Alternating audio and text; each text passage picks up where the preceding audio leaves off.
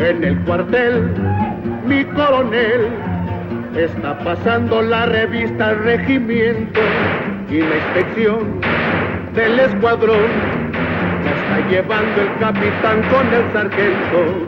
Van a salir a combatir a los soldados de las fuerzas federales. Van a luchar para llevar la libertad a los rebeldes y rurales. Ya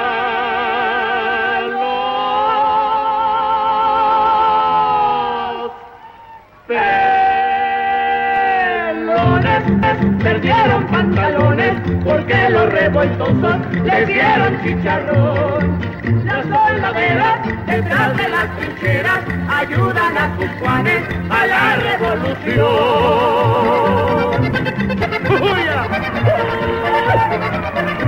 ¡Échale taconazo! ¡Báilele, báilele! ¡Báilele,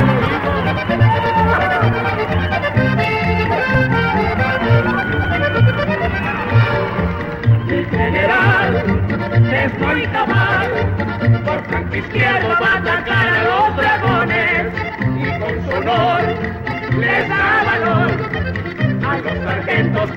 comandan pelotones.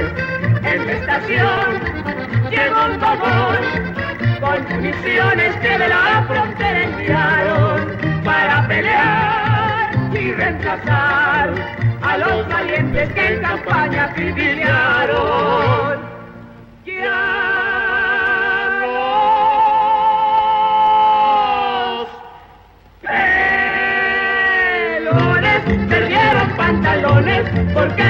porque los revoltosos les dieron chicharrón. Las soldaderas detrás de las trincheras ayudan a sus Juanes a la revolución.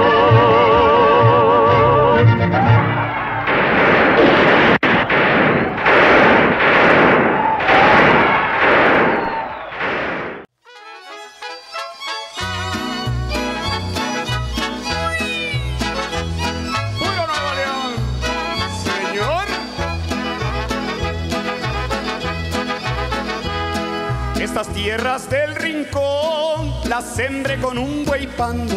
Se me reventó el barzón y sigue la yunta andando. Cuando llegue a media tierra, el arado iba enterrado, se enterró hasta la telera, el timón se deshojó, el barzón se iba trozando, el yugo se iba pandeando, el sembrador me iba hablando, yo le dije al sembrador, no me habla que ando andarando. Se me reventó el barzón y siempre la yunta andando. Uy. Hasta Navojoa, Sonora.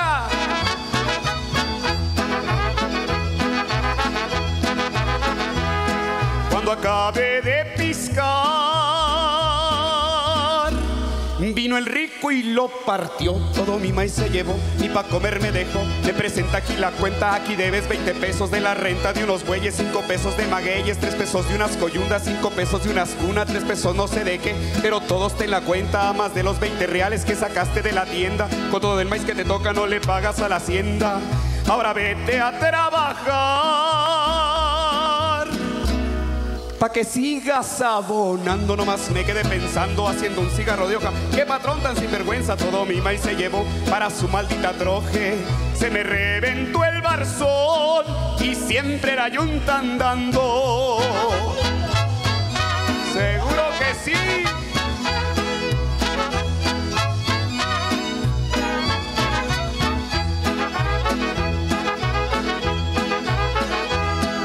Cuando llegué a mi casita,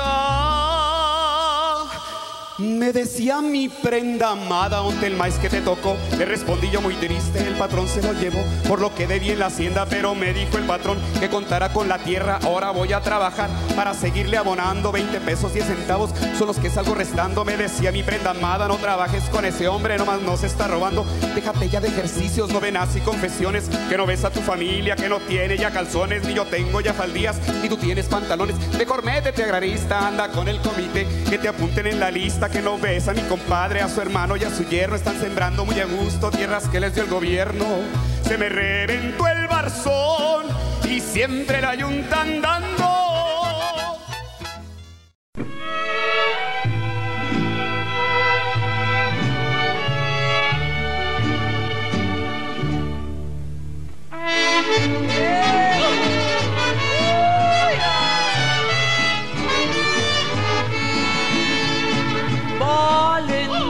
Valentina, yo te quisiera decir que una pasión me domina y es la que me hizo venir.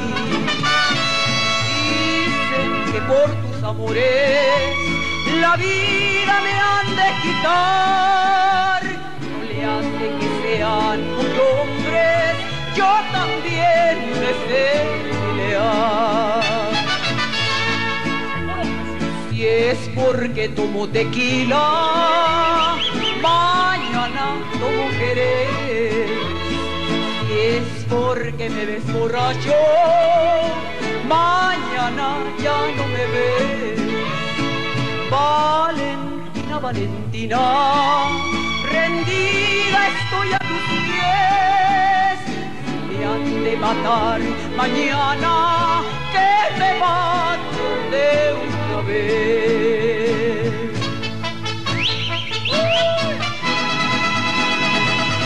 En lo alto de la mucha serranía, acampado se encontraba un regimiento y una moza que valiente lo seguía, locamente enamorada del sargento. Popular entre la tropa era delita, la mujer que el sargento idolatraba, que además de ser valiente era bonita, que hasta el mismo coronel la respetaba.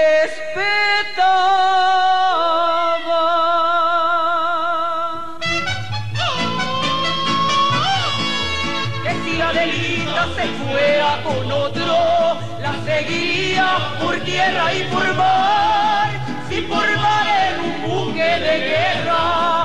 Por tierra en un tren militar.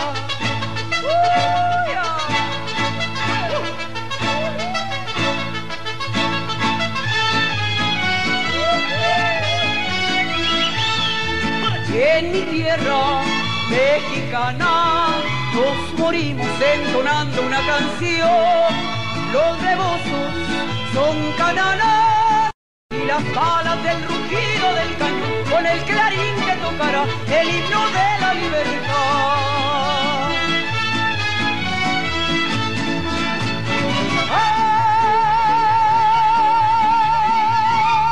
¡Ay! Yo me muero donde quiera. En la raya la primera yo me parto el corazón.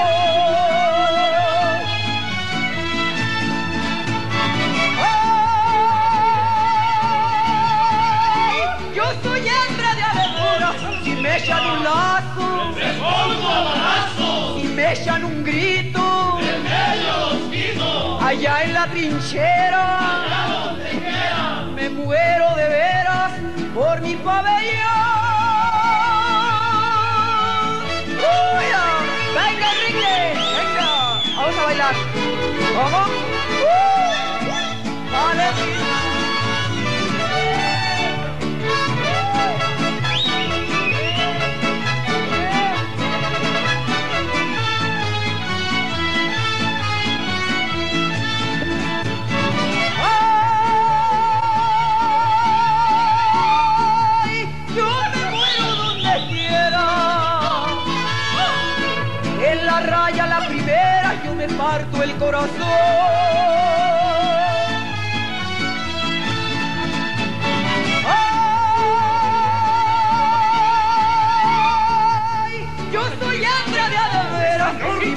Un lazo, si me echan un grito, allá en la trinchera, me muero de veras.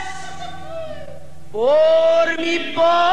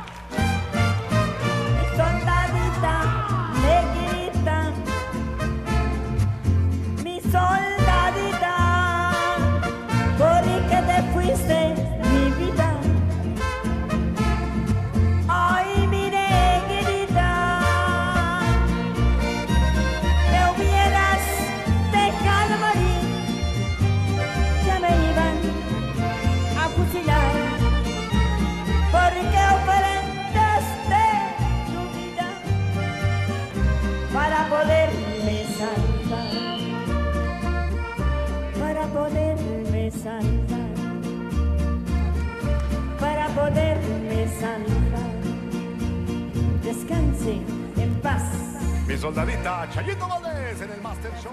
Regreso. Patria México, febrero 23. Pues en Patria México, febrero 23, dejó Carranza pasar estos de allá del norte, de los hijos de Reagan.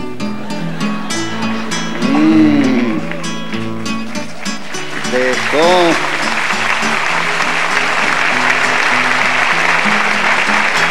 Dejó Carranza pasar norteamericanos.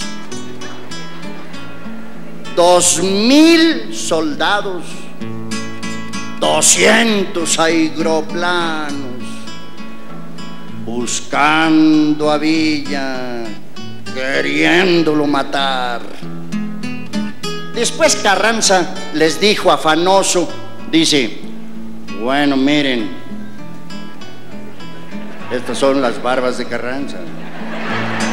Bueno, miren, si son valientes y lo quieren combatir, concedido, yo les doy el permiso. Pásenle, güeritos.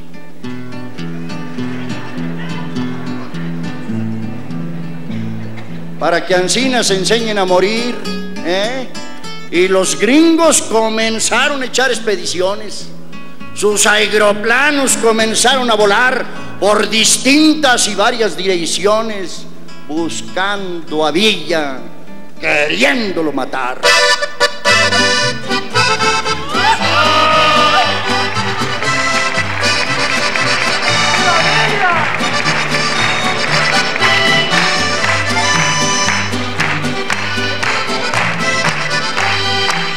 Pero pues los gringos esos que vinieron desde Texas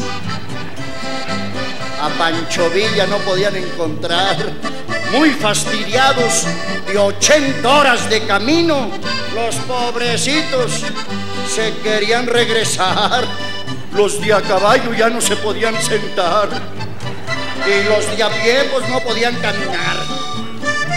Entonces Villa les pasa en su aeroplano y desde arriba les grita, ¡Goodbye!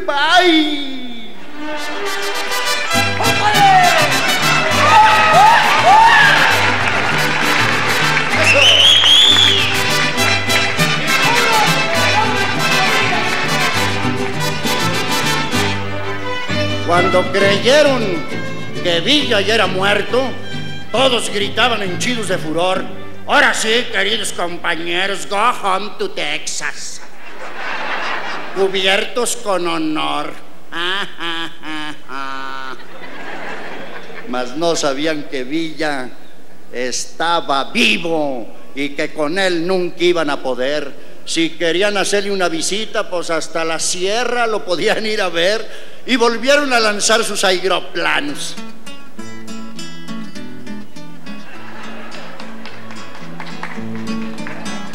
Y entonces Villa, un buen plan les estudió. Se vistió de soldado americano y a sus tropas también las transformó. Y cuando vieron los gringos las banderas con hartas barras y estrellas que Villa les pintó, se bajaron con todo y aeroplanos. Y Pancho Villa prisioneros los tomó. Si toda la gente de allá de, de Chihuahua y Ciudad Juárez muy asombrada y asustada se quedó, no más de ver tanto gringo y carrancista que Pancho Villa sin orejas los dejó. Pues qué pensarán los gringos estos tan patones que con cañones nos iban a asustar. si ellos tienen aviones de a montones, acá tenemos lo mero principal.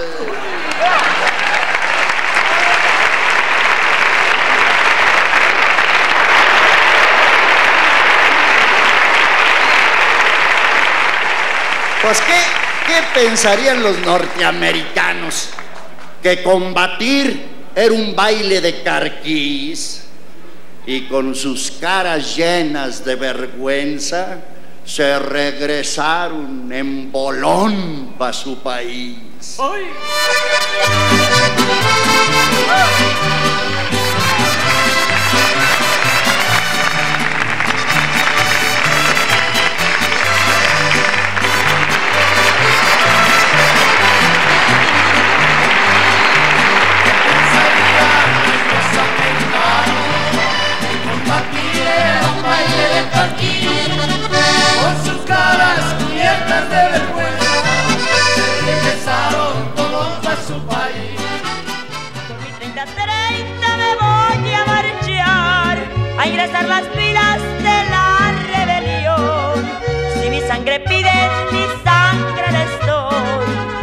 sangre les